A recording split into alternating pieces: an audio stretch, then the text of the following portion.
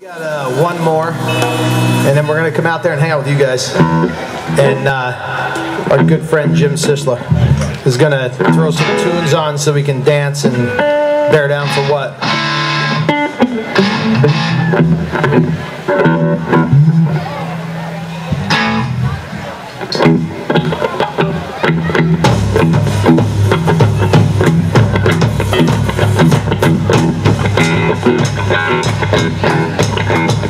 Música